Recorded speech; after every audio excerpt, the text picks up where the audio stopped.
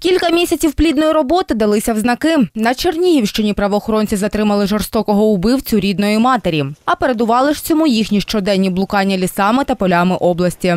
Было совершено преступление тяжкое. Прочесать максимально этот лесной массив.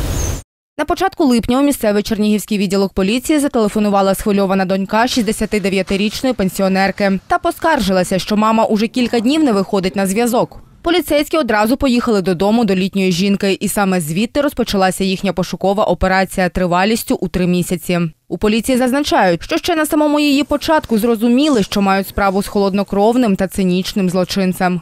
Поліцейські встановили, що жінці були завдані смертельні ушкодження по тілу і по голові. Замотали тіло у простирадло та закопали у лісі. У поліції були всі підстави підозрювати у вбивстві її сина. Родичі запевняли, що він тривалий час був безробітним та конфліктував з матір'ю.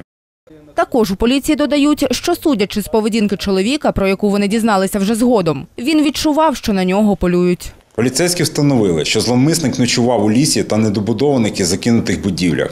Також він мав намір виїхати з країни. Утім, втілити у життя свої плани злочинець не встиг. Поліцейські все ж вийшли на його слід та затримали. Наразі йому вже оголошено про підозру. До того ж, як розповіли у поліції Чернігівщини, у них є всі підстави підозрювати чоловіка у ще одному вбивстві, яке сталося за час, поки тривала операція з пошуку вбивці 69-річної пенсіонерки. Утім, над встановленням цього факту наразі слідчі ще працюють.